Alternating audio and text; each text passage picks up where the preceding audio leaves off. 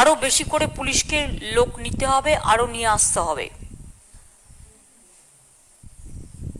আমাদের সময় আমরা অনেক রিক্রুটমেন্ট পুলিশে করেছি এবং আরও যেগুলো প্রসেসে আছে, আমি বারবার বলি এর মধ্যে আমরা কোনো ইন্টারফেয়ার করি না। করি না যখন বলছি করি না। স্টেট পরীক্ষা দিয়ে পাশ করে উচ্চতা টুচ্চতা মেপে রিক্রুটমেন্ট বোর্ড করে পুলিশ রিক্রুটমেন্ট বোর্ড ভ্যাকেন্সি যেগুলো আছে, সেগুলোকে ফুলফিল করতে হবে। আর মানুষের সুদিনে না পারি, মানুষের দুর্দিনে কিন্তু মানুষের পাশে দাঁড়াতে হবে।